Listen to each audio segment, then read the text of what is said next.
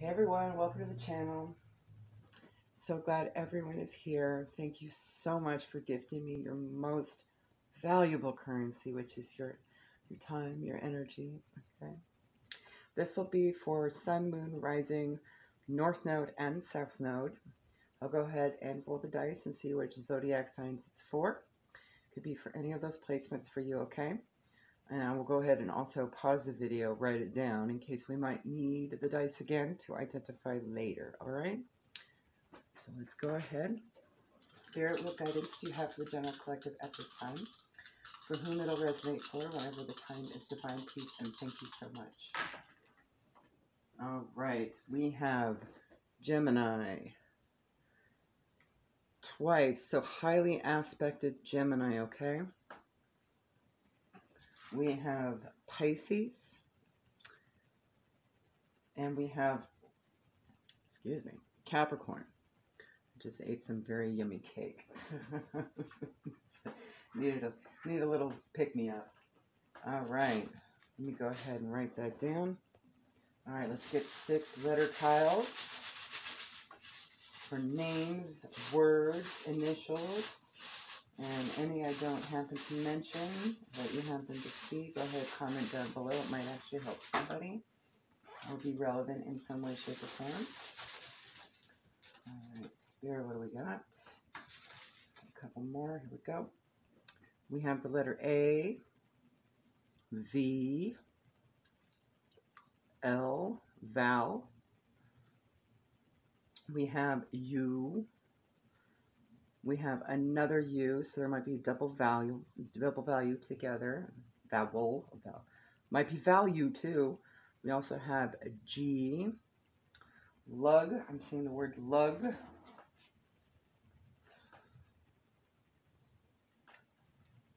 Gal.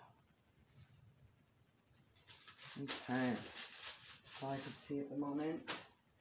Let's go ahead and pull a couple cards from Tea Leaf. Each half stack, please and thank you, Spirit. What is happening for our Gemini high aspected, Pisces, Capricorn, Sun, Moon, Rising, North Node, South Node, please and thank you.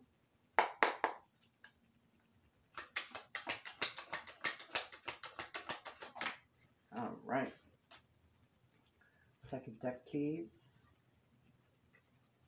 We'll also clarify with Past Life Oracle, Life Purpose Oracle, my locations identifier deck, numerology, and Kipper as well. Person, place, situation, thing, identifier.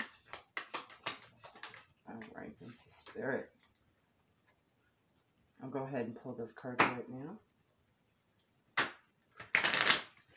I know these reads can get a little long with all the shuffling and pulling. All right, two from past life, please. Thank you. Uh, let's get a couple from the location identifier, please. Please and thank you.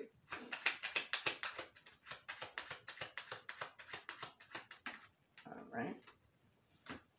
One life purpose oracle, please.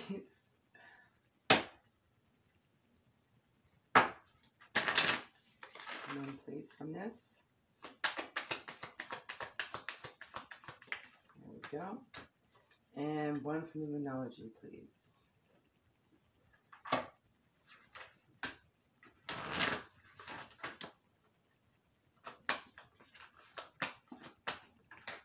All right.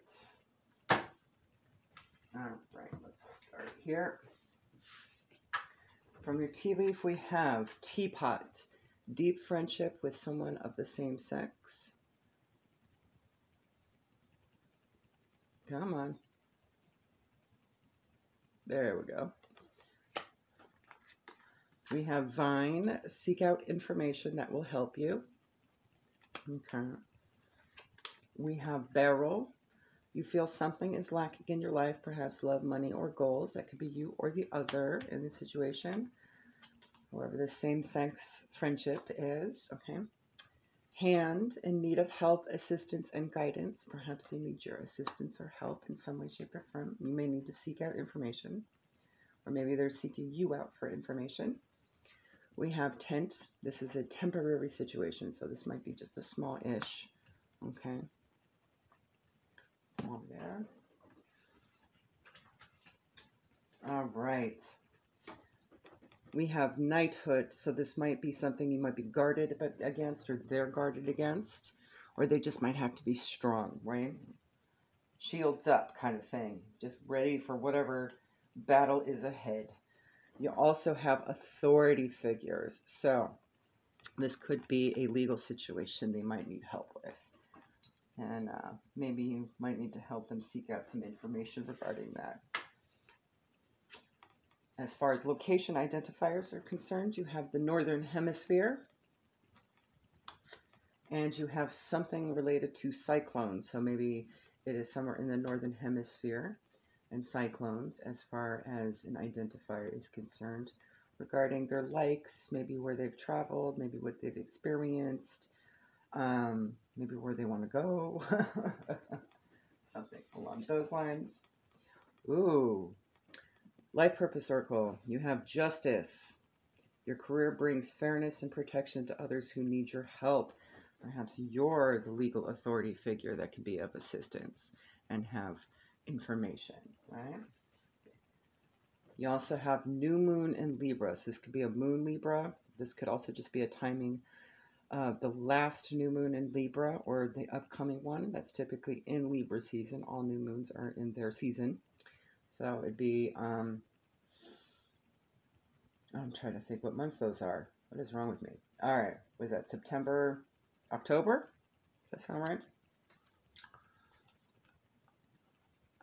A new romantic cycle begins. So perhaps this is um, a resolution on some legal issue regarding a partnership with someone that was a friend, um, same sex, or something along those lines um, regarding whatever this issue is that they need help with. Okay, so it's temporary, so it's it's going to be an easy thing to get over and resolve. It seems like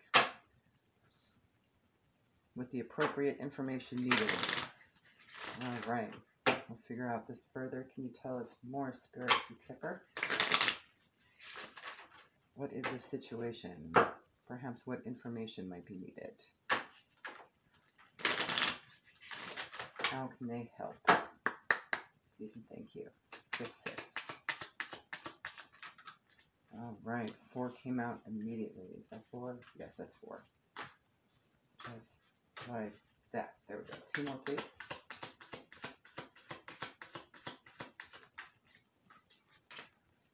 And last but not least, thank you. And my earbud is wanting to get caught on my hematite bracelet. It's magnetic, so go figure. Give me a second here. I'm going to secure it better. All right. Number seven, you have a pleasant letter. So this is actually decent news, whatever this is. Could be a resolution of sorts. See it? Regarding a rich girl, someone younger, well-to-do. Perhaps they don't have a lot to worry about money or their stability. Number 12 breaks down to a 3. We have number 29 breaks down to an 11. That's a manifestation number. Prison. So we'll go ahead and clarify that, considering we do have authority figures on hand here. Number 21 also breaks down to a 3, so 33 may be significant at this time. Living room. This is the family room in the other deck. So this could be regarding family, could be literal prison. We'll figure this out. Number 14 breaks down to a 5. That signifies change, sad news. And perhaps that's what she needs assistance with is one of her family members. And 31 breaks down to a 4, short illness. This is the bad health card. So we'll figure that out as well. All right, Spirit. Can we clarify short illness, please? It does seem like it's going to be a temporary situation, but what is the short illness? Is this mental, physical, psychological? Is this just distressing? Is this calling, causing some depression or worry? What is this? Thank you.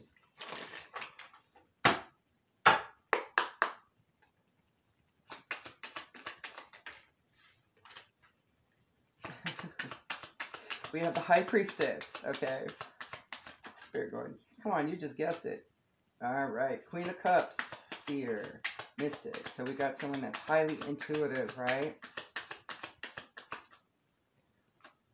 An omen about happiness. So yes, that's a confirmation. I basically just called it out. There, um, it's this situation has just caused some anxiety and some upset. Okay. and the goal is to aim for happiness. You know, to flip the script, right? And maybe that's the information, the, the, the help, assistance, the guidance that's needed. So, you know, a shoulder to cry on and, you know, to hug it out, right? So let's discuss this family prison situation. Can you identify prison, please? Is this a literal prison? Is this a legal problem? Is this a sentencing of sorts? Is this mental imprisonment? Could also very well be that. Please and thank you. Let's get three on it. Again with the High Priestess. All right. Perhaps you already know what this is, okay?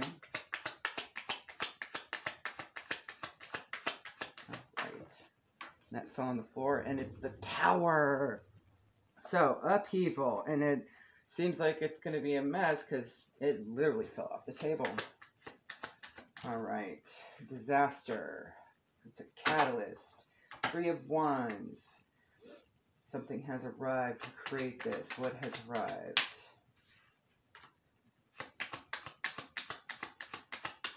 One more. Something that required investment of energy with the Seven of Pentacles. And something came back from the past. Six of Cups. Alright. What is this Tower, Spirit? Causing an imbalance. Two of Pentacles. That wanted to come up in the reverse, though I don't read it that way. What is this tower spirit? Alright, fast acting with the Eight of Wands. Could be something that had been communicated in a very fast method, such as social media, text messaging, and the like. Alright. And we have the Chariot. So, fast movement. Alright. Clarify chariot. Judgment. Alright. It could very well be legal, guys, because um, chariot can be seen as like a police car, right? Like a vehicle. And with judgment, perhaps that's the paddy wagon. Not just, you know, we're going to go ahead and book you for you know, your court case. This is no, we've already sentenced you, you're going off to jail. Do not pass go, do not collect $200, go straight to jail. Okay. So whoever this is from the past in their situation could be a childhood situation, could be family that they've known their whole life, and that's what's causing this anxiety regarding this situation. Let's see. What is this information that needs to be sought out? I'm pretty sure I already clarified that, but I'm going to do it again. Uh, seven of Swords. Okay. The information needed is, you know, where the betrayal or the unethical behavior had been. One more. Okay. So to get the truth of the situation, right? We also have the Seven of Cups there seems to be some confusion and illusion in this situation. You also have two sevens here, so this is lucky. So whatever, they might need your help to, to solve this issue. Is this person from the past actually innocent? Hmm. And it'll start a new beginning with the full here. Innocent. They are innocent. All right. So, I would definitely get professional help on that one. Although you could very well be a lawyer and be that professional help too. So let's get some advice for you regarding this situation. From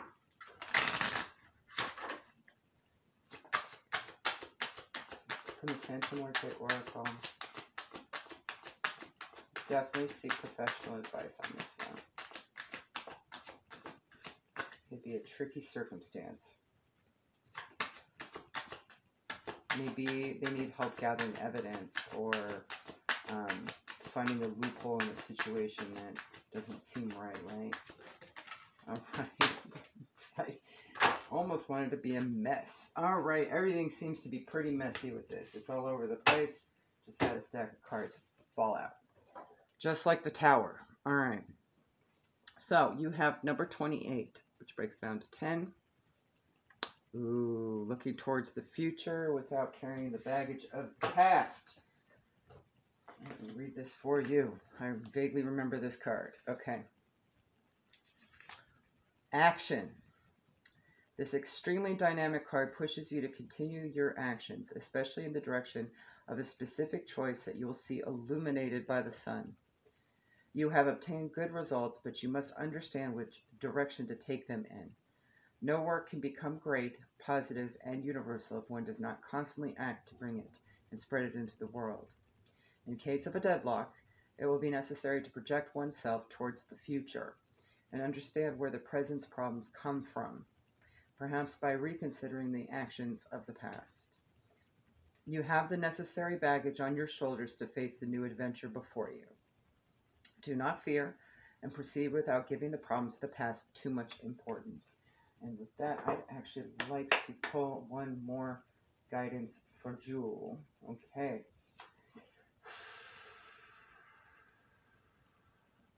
Let's figure out there's a lesson in this, right? Every circumstance always can teach something. So let's just get a lesson. And I am actually going to pull from the New Orleans Oracle as well, just in case. All right, grab that book. Ah! Okay, I got it. All right. We'll get a couple from the Soul Journey lessons card, okay? Figure out what lessons are in this. Either you, them. All right. We have adversity. I accept that challenges are the best way to learn. Uh-huh. Perseverance. I know that I can do whatever I set my mind to. And self-esteem. I possess gifts of the soul that benefit me and others. All right. Excellent. So this is just a reiteration of something you've already learned. Maybe it's just a good reminder of how far you've come to see how you can handle this situation. And it sounds like to me you'll do just fine. You got that knighthood, right? You got that straight perseverance. All right, let's get some guidance from the New Orleans Oracle to close this out, Spirit. Please, thank you. All right, number seven, end of a cycle. And that is a beautiful artistic rendering of Hurricane Katrina. Okay, let me get another. It's too pretty to be flat. Come on. There you go. Again with the sevens, there's going to be luck. Hurricane Katrina signifies the end of an era in an unexpected and uncomfortable way. The hurricane led not only to the devastation of well known comforts, but also to the beginning of desired growth and forward movement. Many times it's necessary for things to fall apart in order for them to come together. If this card has shown up, you can expect that your comfort zones have been shaken up. And that's evidenced by the sad news short illness situation, okay? Whatever this situation is, in the case that it's not a legal matter, or maybe it's just an external legal matter, right? Or the loss of something, right? Okay. The good news is that whatever your perception of change or loss is in this situation, there are wishes about to be fulfilled on the horizon. Focus your energy on the things that you do have control over. Move forward step by step instead of trying to create the entire plan in advance. There will likely be things that arise during this time that can be perceived as setbacks, but if you focus on what is in your power, this experience, while not the easiest, will still prove to have a positive outcome. And It has a lot to do with that self-esteem card. So there'll be there'll be some learning situation in there for you as well, whatever this is. Another case of good observation as well as being of assistance for the greater good, right? All right, there you go. Hopefully that helps. Bye.